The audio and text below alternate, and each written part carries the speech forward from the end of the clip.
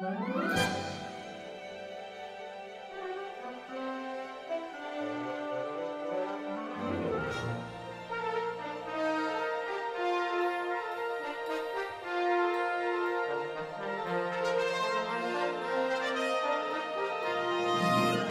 So to steer a spacecraft from millions of miles away, we have to first track its trajectory. So we have to determine where in the solar system the spacecraft is, predict where it's heading, and compare that to where we want it to go. So the navigation team ensures Lucy's on the right trajectory by tracking Lucy's position and velocity in the solar system, predicting where it's headed, and adjusting its course so that it aces the flyby.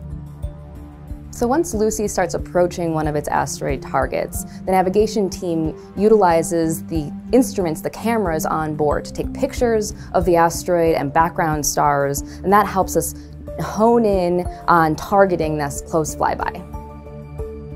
So commands travel at the speed of light, and over the course of Lucy's trajectory, its position from Earth is varying substantially.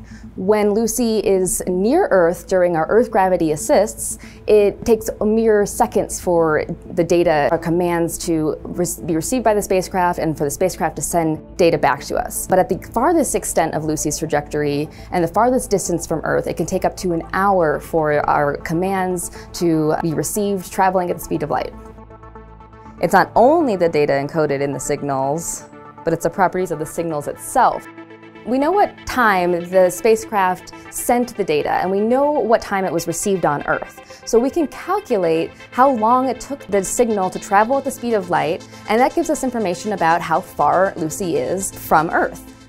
And then we also can get velocity information because the spacecraft is moving away from the Earth as it's sending those signals, and so there's a change in the frequency of the radio signal, and that gives us information about velocity.